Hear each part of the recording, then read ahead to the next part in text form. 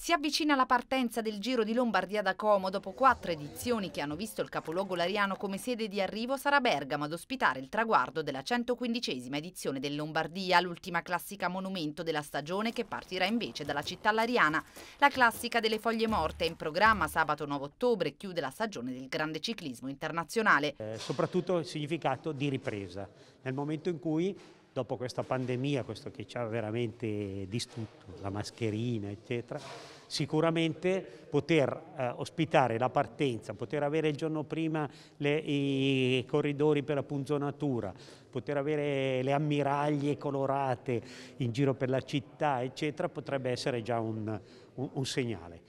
I corridori inizieranno sfilando per il centro storico della città in via Vittorio Emanuele, via Cantù e via Giovio con l'uscita spettacolare da Porta Torre su via Milano. Si salirà poi dalla Napoleona verso Camerlata, al termine di via Paoli si taglierà per via Clemente XIII e poi nella zona di Senna dove è previsto il cosiddetto chilometro zero, il via effettivo dei concorrenti alle ore 10.34. Nella giornata di venerdì scatterà il piano che prevede le limitazioni al traffico in vista del giro. Venerdì pomeriggio cominceremo a istituire il divieto di sosta che andrà a interessare l'intera zona dello stadio Sinigaglia, quindi grosso modo coincidendo con una normale partita di calcio. In più ci sarà il parcheggio Maggiolini e alcune macchine verranno messe poi in Piazza Verdi, ma lì è zona, zona traffico limitato, quindi non ci saranno riduzioni di parcheggi.